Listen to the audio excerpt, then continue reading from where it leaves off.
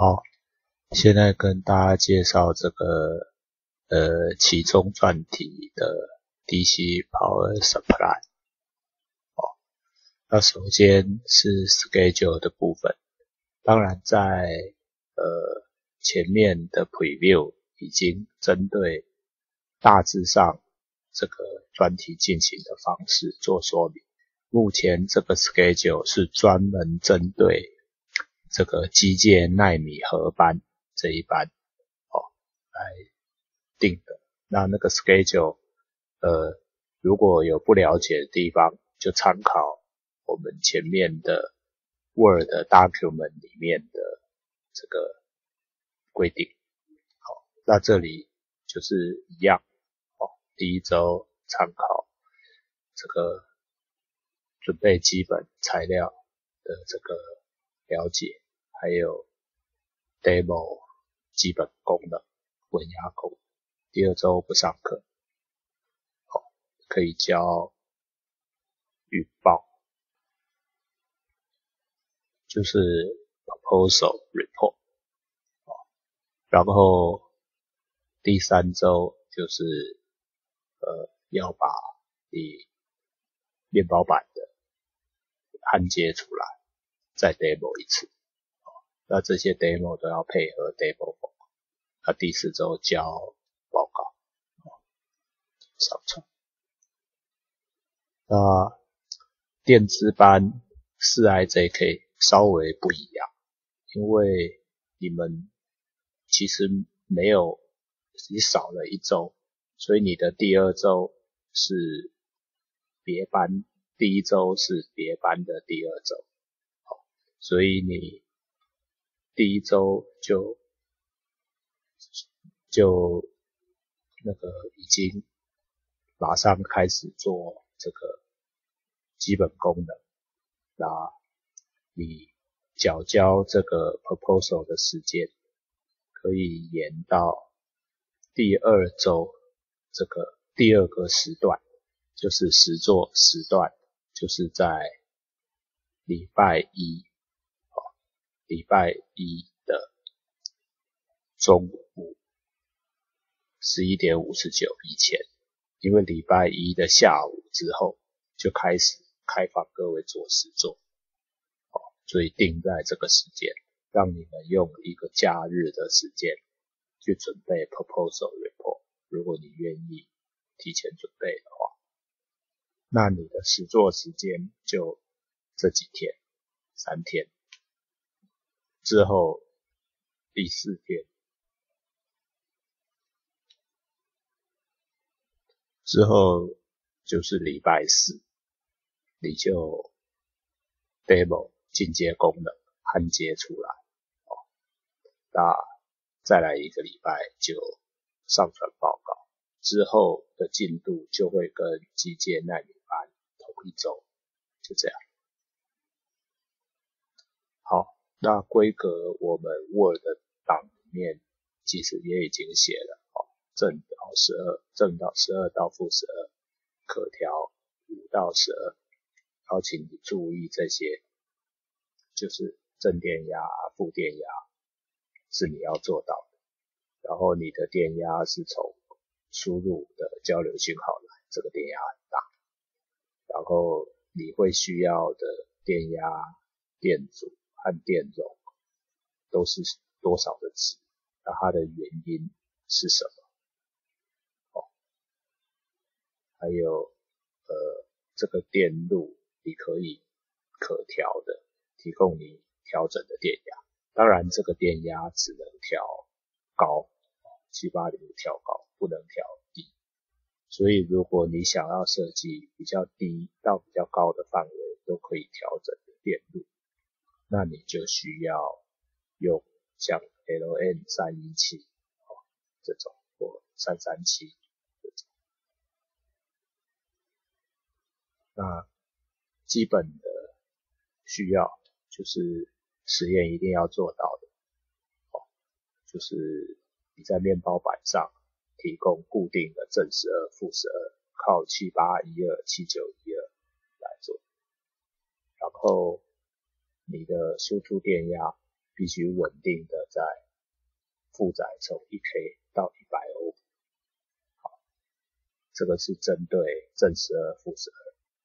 那你的这个五伏特也可以调到十二伏特，这是用七八零五来调。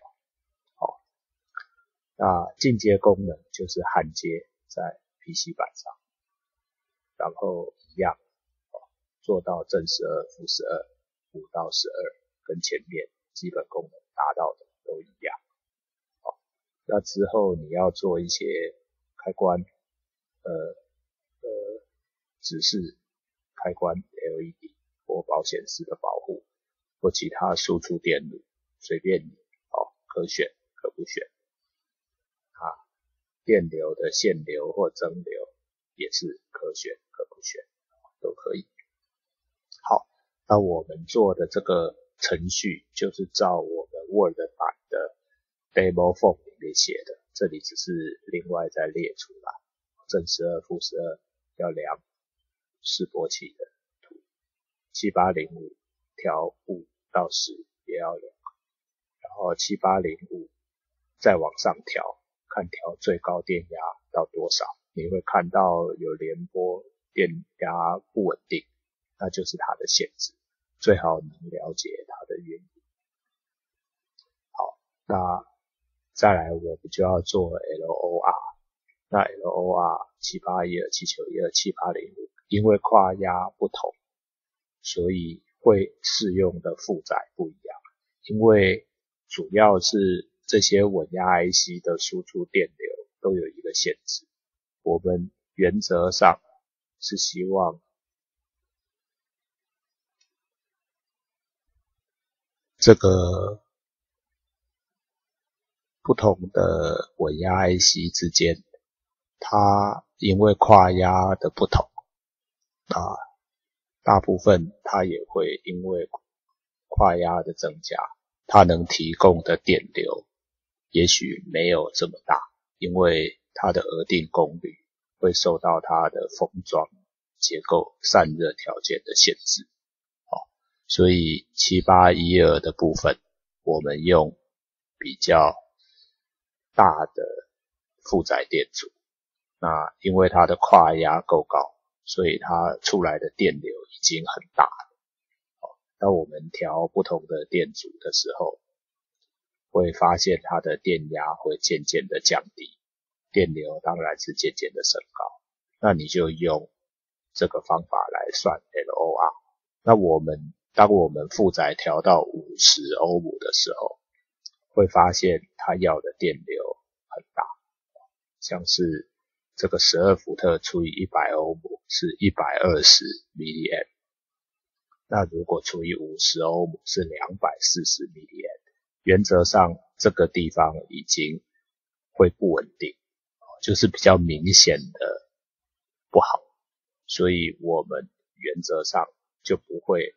让我们的负载超过一百欧姆，哦，那呃，在这个前提之下，我们用的 LOR 就是从一 K 到一百，哦，算法就是一 K 跟一百的压差还有电流差两个相处，就可以得到 LOR，所以你就可以知道一个最大的。稳定的输出电流在是多少？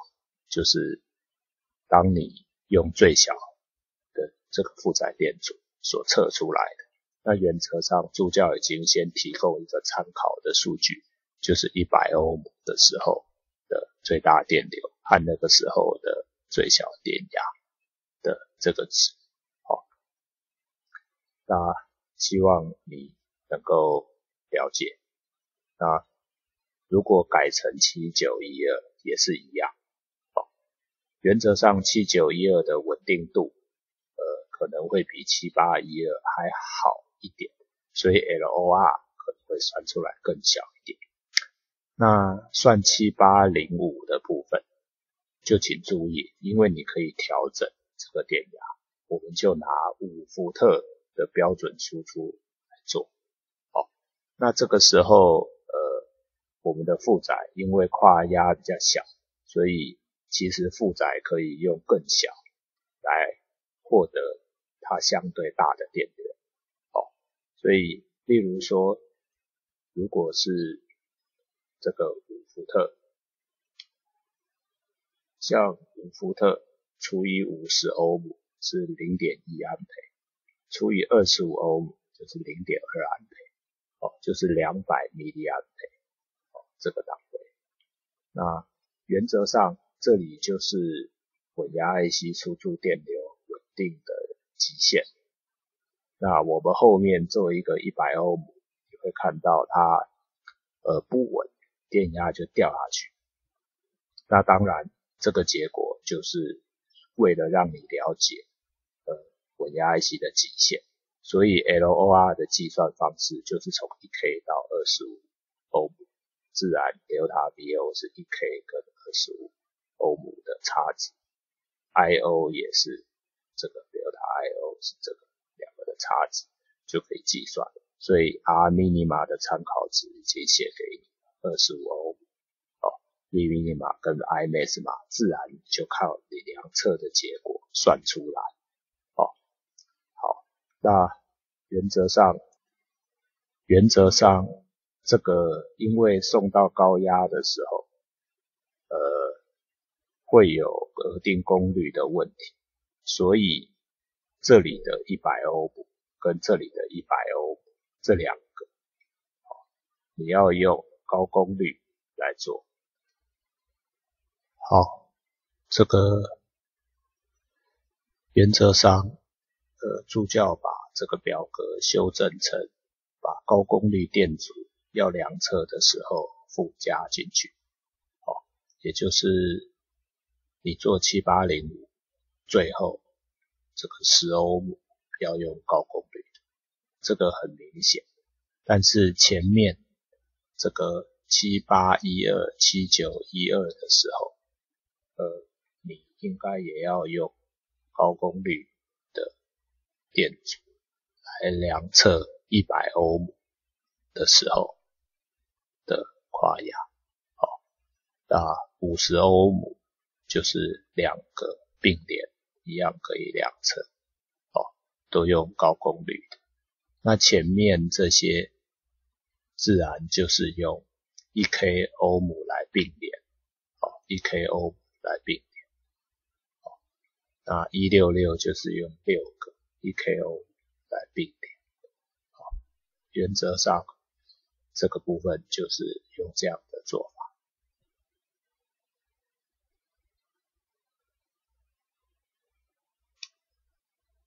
好，那测试的电路环境就是把你接好的电路后面挂上。这个负载，那我们这边的画图方式是用可变电阻来表示，但事实上我们现在都用刚刚说的电阻并联的方式来替代，就不用可变电阻来调了。好，理论上是这样，所以两侧正负五到十，还有当然输出稳定电流的结果。七八零的，好，然后负载电阻千万不要焊在你的电路上，好，你焊的就代表你根本就不懂什么叫做 LOR 的观念，还刻意加负载电阻在上面，好，那 a d v a n 是 demo 的时间一并在。辅助起来，哦，就是这个，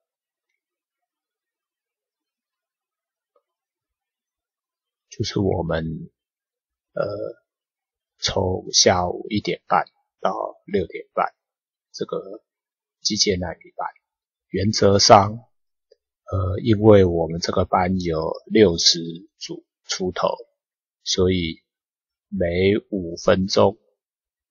每五分钟一组，好，那呃所以第一个小时就是一到十二组，第二个小时就是十三到二十四组，以此类推，所以五个小时 demo 完六十组。好，那如果你是六十几组，那一样也是在呃这个提前到。大约五点半左右到六点半这个时段就呃过来的，应该这样讲，呃，如果你是六十一到七十组的，哦，你就可以在提前的时间来 demo，提前的时间就是这个时间到这个时间都可以，哦，让你来 demo。好。那如果你是第一组到第六十组，就请你依照一个小时十二组的原则来 demo。如果呃，当然你如果不是在预定的时间来 demo，呃，助教可能也会在 demo 别的这个同学，那就请你稍后哦。那当然，超过了这个时间，哦，六点半。如果你还没有完成基本功能的 demo，哦，那甚至是预定你每一组 demo 的时间，例如说第一个小时一到十二组就应该 demo 完。如果超过了过了一个小时以后，那助教已经呃都都 demo 完人了，开始在等待各位同学，而不是因为没有没有办法有时间 demo 同学，那同学达不到预定 demo 的时间，那助教自然就可以注记各位的表现，甚至对于助同学。做不太到的地方，就直接在评分上面，呃，做调整。所以，请同学就是在预定的时间，尽量就应该提前把实作完成。好，那这个电子班也是一样，因为同学的这个呃人数比较少，所以。每五分钟一组一样，哦，从第一组到，呃，因为电子班的编号有些跳号，一样从第一组到第四十八组，这样就是一小时十二组为原则。那你的时间就是依照 demo 的时间表定，除了助教还在 demo 有时间的落差之外。你应该在这个时间就要完做到可以 demo 的条件，哦，那如果可能，助教也是会把 demo form、demo list 提供给让各位可以登记。当然，呃，登记就代表已经完成，如果没有完成。就事先登记的话，那就会视为是你并没有做完，助教也会登记，哦，这样子是不能接受的。Repeat demo 就是在跟基本功能一样，所以量测正到正五到十二，五到十二，正到负，那正负电压的输出都要。全部用外用板接好，然后呃稳压的输出也是，然后进行 L 啊的继续观察，那其他的加分功能就没有关系，你不做就算了。那呃当然请注意安全。我们礼拜六、礼拜天实验室是不开放，哦，那请你自己在预定的时间就来做实验。那离开的时候，请关仪器，注意整洁，好，不然助教也可以不配合大家提供实验室。啊，还有安全哦，safety first，就是如果有触电或过热的问题。要小心，不要被烫到。啊，呃，电容不要插反，啊，会爆掉。啊，电路输出不要短，不然太严重，实验室会跳电。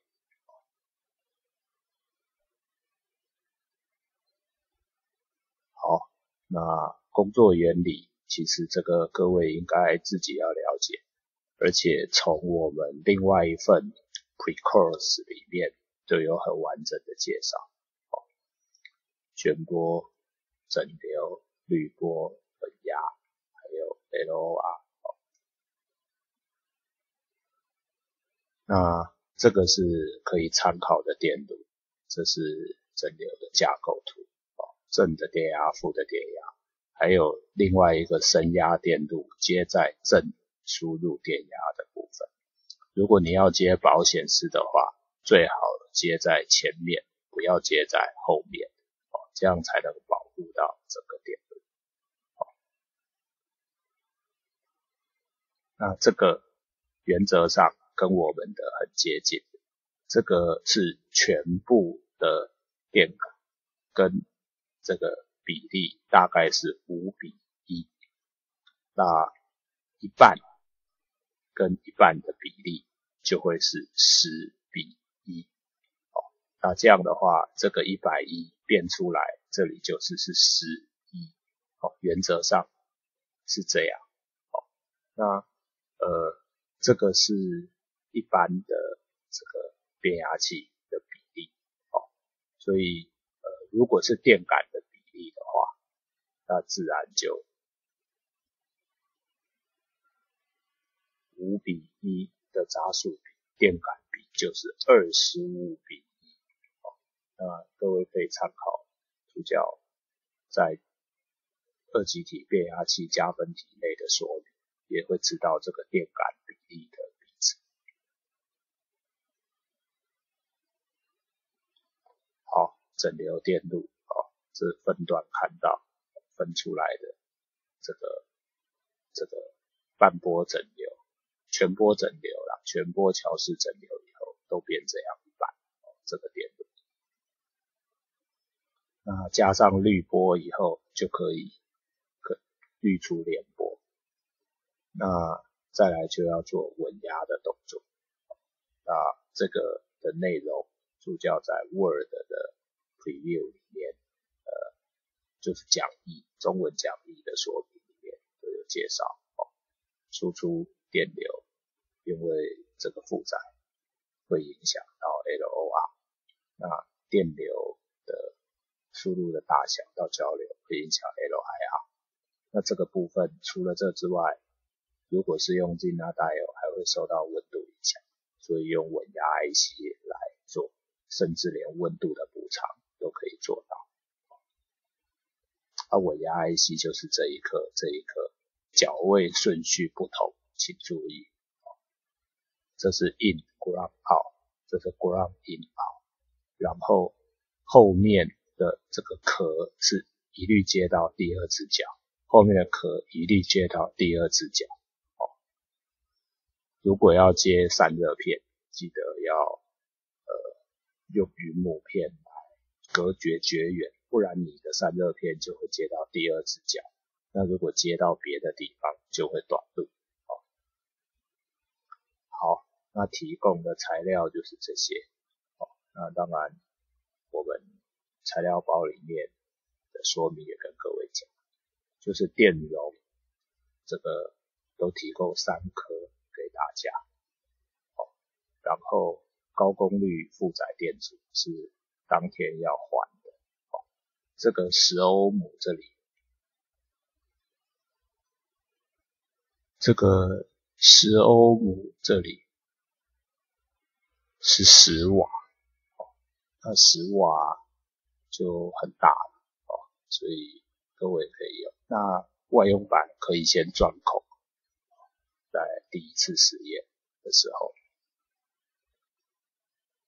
好，就是我们。这一次没有提供保险丝给各位，请各位就是如果需要自己准备。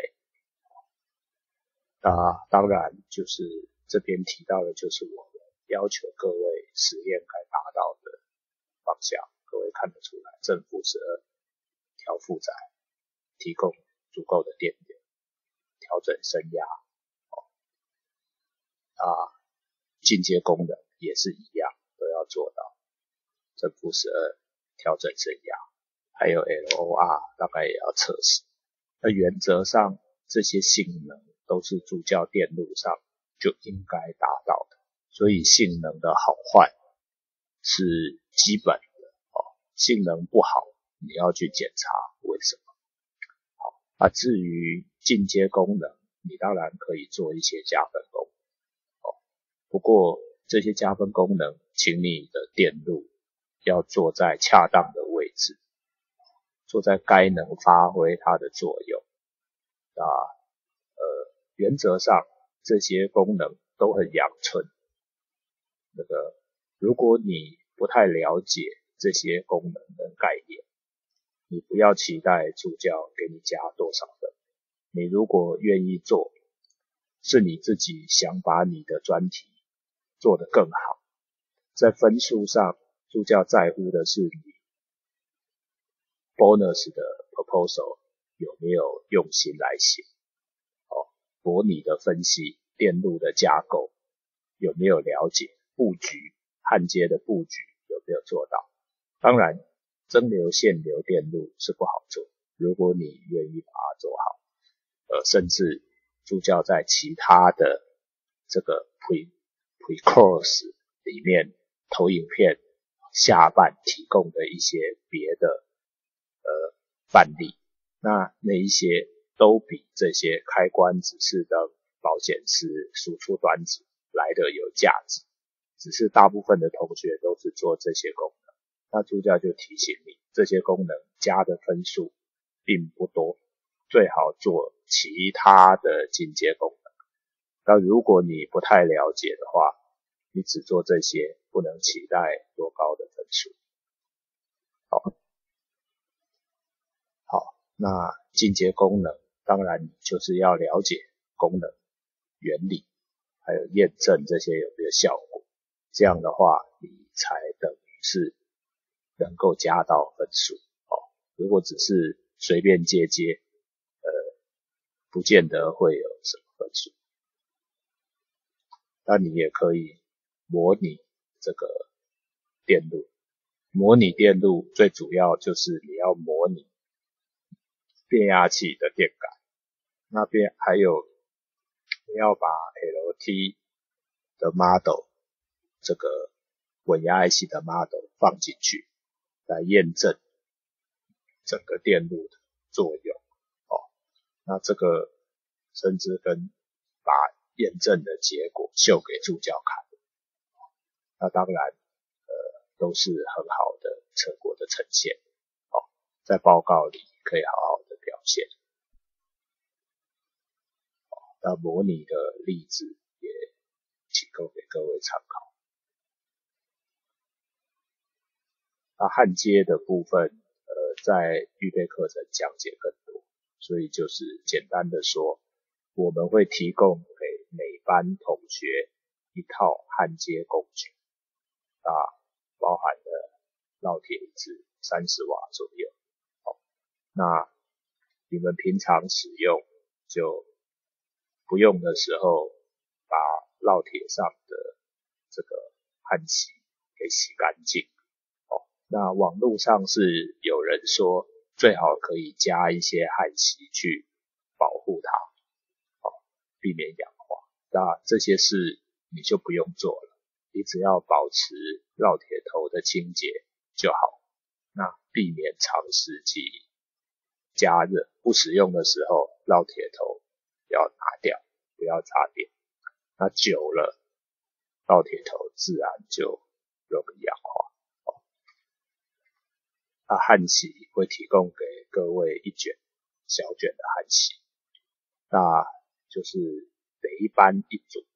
那原则上班带可以负责管理，需要用的同学去找班带来借用。那如果你们的焊锡用光了，可以再来找助教补充哦。那一组的焊锡，不是你们每个人焊锡用光都来找助教补充。那助教在实验室，呃，原则上如果同学的使用很符合规矩的话，助教也可以。尝试提供一些焊锡，让各位现场使用。哦，那焊锡里面都是有焊油的，所以恰当的焊接就不需要另外再加焊油。哦，啊，呃，当然你焊接过久，焊油就会不见了。哦，那还有一支吸锡枪提供给各位，那也是帮助。这个解焊用，那吸锡线，呃，做一些其他比较精密的电路会有，我们就不提供。那烙铁的温度很高，哦，那你们在焊的时候要注意通风良好，还有我们也会提供给各位一个烙铁架，请你不用的时候把烙铁放在烙铁架里。那电路板也尽量的这个在固定的电路板上来注意好它的焊接位置，先把低的元件焊好，再焊高的元件。那焊接的部分，这个我们也有参考的影片，里面也有很好的示范，各位可以利用。好，那原则上。这部分就是这样，希望各位呃能够尽量的在这三个礼拜的实验过程中把专题做好。